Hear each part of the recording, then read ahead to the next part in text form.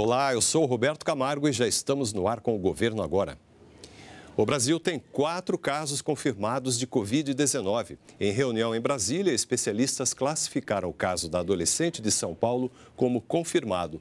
Segundo o Ministério da Saúde, todos os casos foram contraídos no exterior e não há indícios de circulação da doença no país.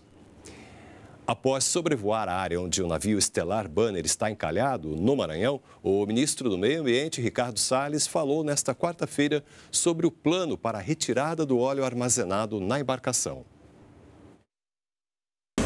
Não há vazamento de óleo nesse momento no local. O navio está estável onde ele está, sendo acompanhado por todas as equipes que ali estão e esse trabalho é, continuará sendo feito até que tenha sido retirado todo o óleo destinado e escolhido qual é a melhor solução pra, para o minério que está nos porões do navio e eventualmente a retirada do navio é, com toda a segurança.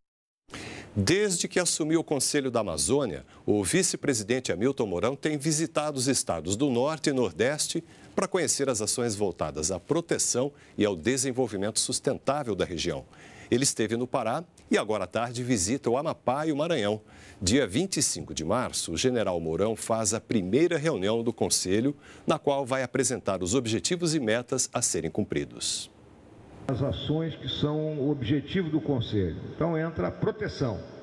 A proteção né, da Amazônia, ela está muito ligada ao quê? A questão de fronteira, a questão de segurança pública, né? a questão de a gente lidar com os nossos vizinhos, né? porque muitos dos nossos vizinhos né, têm problemas sérios, principalmente ligados a narcotráfico, contrabando, tráfico de armas. Né? Então, isso é a questão da proteção. Aí temos a questão da preservação.